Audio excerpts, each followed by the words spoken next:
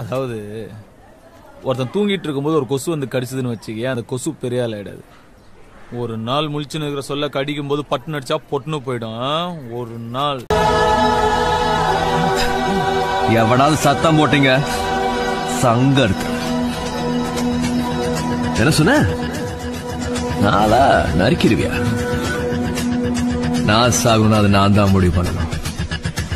நீ சாகுனாலும் அதை நான் தான் முடிவு பண்ணணும்.